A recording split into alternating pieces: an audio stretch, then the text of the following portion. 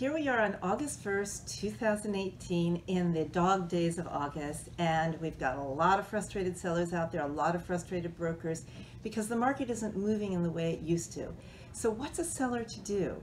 Well, I have a few ideas.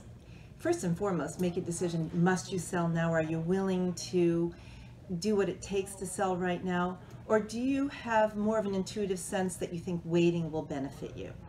So if you decide to sell, uh, one suggestion, of course, is sitting down with your broker and listening to your agent about what's actually in contract right now. But if that isn't enough, and I think it might be a good idea to do this either way in any event, bring in some other people, either yourself or have your broker bring in some other top agents who know that market. Maybe someone who has another listing in the neighborhood who's either sold it or sold something in the recent past. If you do that, then you'll get other opinions and perhaps the collective opinions will help to convince you of where you need to be.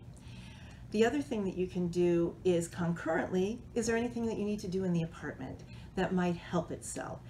That in and of itself these days won't sell it if it's not priced right, but the combination of the two can be very helpful. If you decide to wait, just know that you could be in it for a month, two months, two years, five years, we just don't know. So be prepared for that eventuality.